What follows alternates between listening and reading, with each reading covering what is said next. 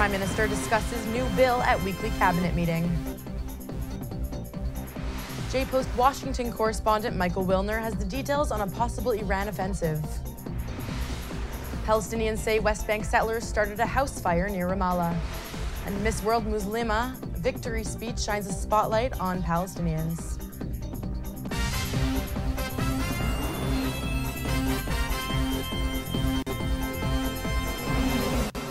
Shalom and welcome to the Jerusalem Post News. Today is November 23rd, and here are your top stories.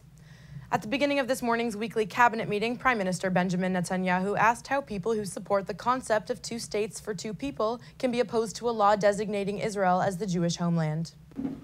מדינת ישראל היא מדינת הלאום של העם היהודי. יש בה שוויון זכויות אישי לכל אזרח ואזרח, ואנו מקפידים על כך. אבל זכויות לאום יש רק לעם היהודי.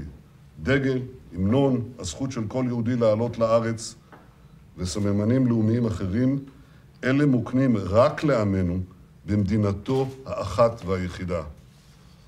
Netanyahu was referring to his version of the controversial Jewish state law, which has been under discussion in the Knesset recently. The prime minister said this law was needed at this time because many people, including Palestinians, are challenging the idea that Israel is the national homeland of the Jewish people. While Iran nuclear negotiations are in full swing in Vienna, reports have surfaced that Israel could attack the Islamic Republic. J-Post Washington correspondent Michael Wilner has the exclusive story. The piece we lead the paper with today has some unprecedented language from the Israeli government, including a near complete dismissal of what's currently on the table in the talks with Iran over its nuclear program in Vienna.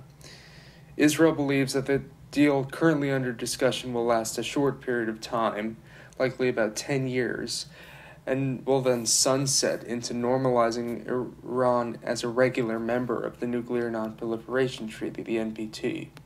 If inspections go perfectly and if Iran chooses to abide by the deal for a decade, it'll guarantee Iran as an industrial nuclear power after that sunset.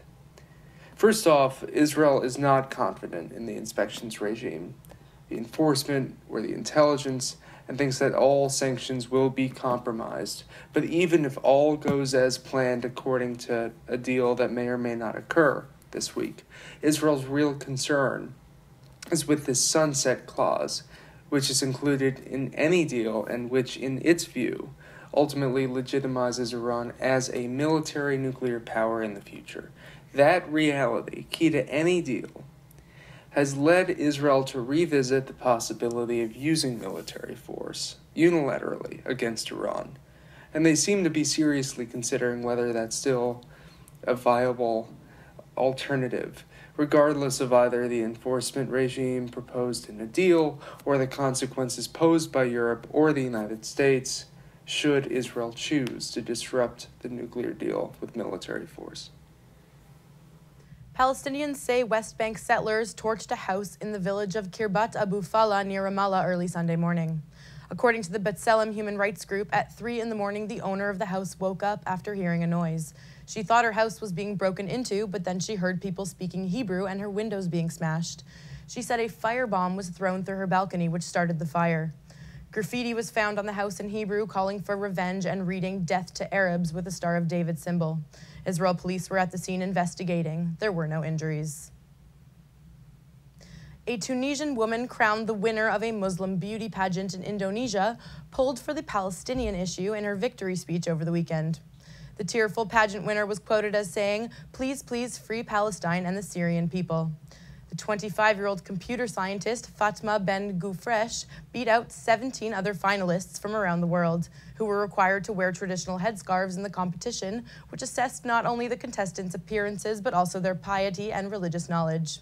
The Miss World Muslima Award contest is held exclusively for Muslim women and has been presented as an alternative to Western beauty pageants, which have been denounced by the Muslim world. And that's all for today. Don't forget to go to jpost.com and check out our Facebook page for more on these developing stories. Until tomorrow, shalom from the Jerusalem Post studio.